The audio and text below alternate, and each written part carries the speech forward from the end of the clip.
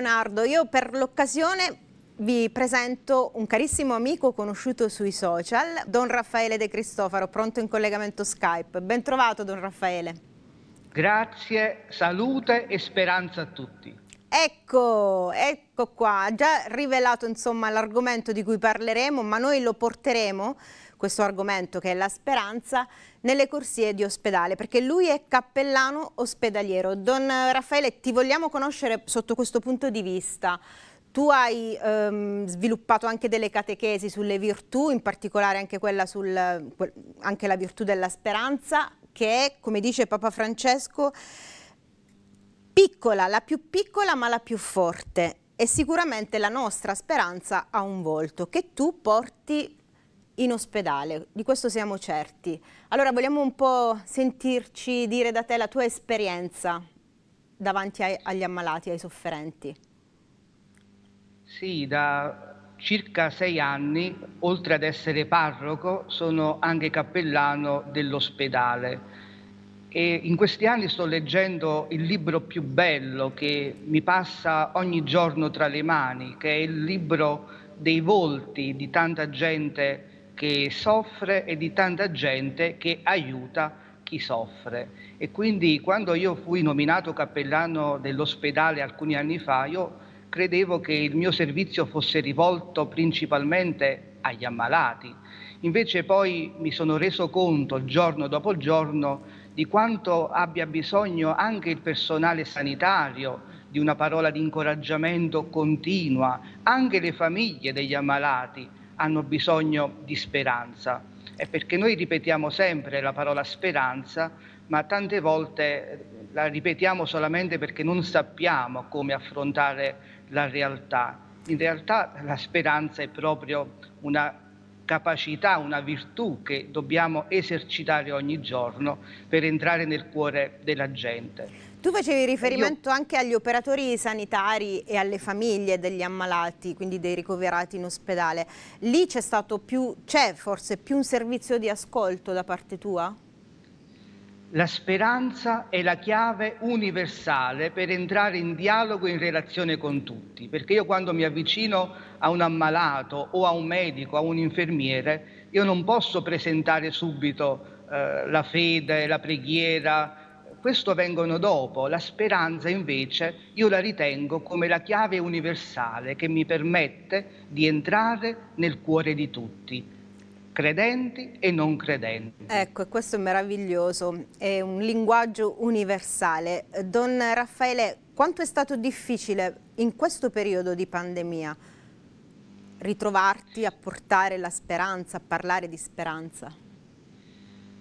Innanzitutto la speranza ha incontrato anche la paura in questi mesi, soprattutto i primi mesi, però quando eh, entro nel reparto, quando entro nei reparti, io mi accorgo sempre che prima di me in quel reparto Dio già c'è e quindi questo mi incoraggia ad andare avanti perché Dio è presente in ogni persona che soffre ed è presente ovviamente in tutti coloro che in quel reparto lavorano. Quindi quando io entro, entro già con la certezza di trovare Dio. Che meraviglia. Eh, Don Raffaele, ti è mai capitato di non ritrovare più qualcuno che magari il giorno prima avevi confortato? Cosa, cosa si prova? Cosa, come sei tornato a casa? In sei anni varie volte mi è capitato di vedere un letto vuoto, ecco. il letto occupato da una persona che magari fino al giorno prima era in dialogo in cammino di fede con me.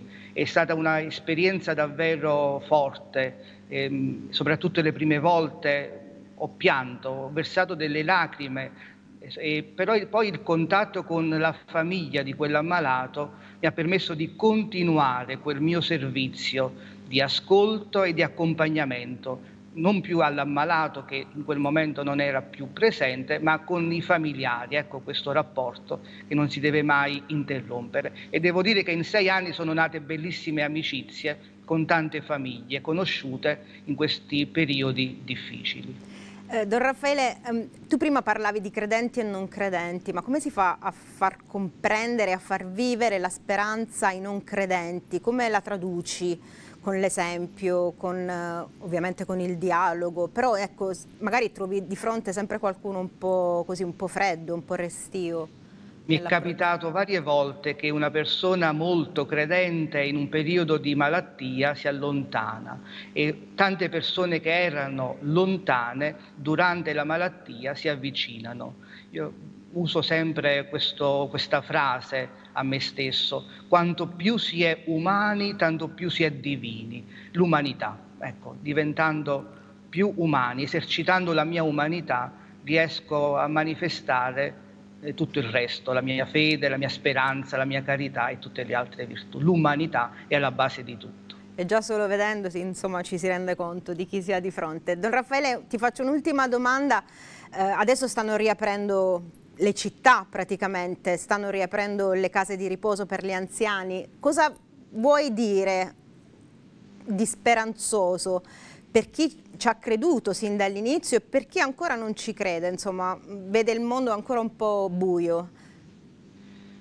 Sì, ehm, io spero perché Dio è accanto a me, questo possiamo dirlo tutti e ripetiamocelo, io spero perché Dio è accanto a me, però attenti, prudenti, eh, è vero che andiamo incontro all'estate e questo ci porta a distrarci facilmente, mm. ma c'è ancora molta, molta gente che sta vivendo quello che la gran parte delle persone persone hanno vissuto durante l'inverno, eh, perché questa pandemia continua e quindi la speranza però qual è? È che possiamo farcela rimanendo più calmi e soprattutto più sereni di sapere che non siamo soli, ma Dio c'è e Dio c'è anche attraverso tanta brava gente che ogni giorno fa qualcosa per noi. Ecco, anche perché Dio non va in ferie durante l'estate, non se lo può permettere. allora io concludo salutandoti, ovviamente ringraziandoti di cuore, il tempo è volato ma mm, mi prometterai insomma che ci rivedremo eh, Volentieri. al più presto e ti saluto come saluti tu solitamente sui social perché tante sono le riflessioni profonde che Don Raffaele posta, tanti lo seguono, è una chiappa like se vogliamo. Don Raffaele, vogliamoci bene. Vogliamoci bene, davvero, con tutto il cuore. Grazie, grazie. Grazie, grazie a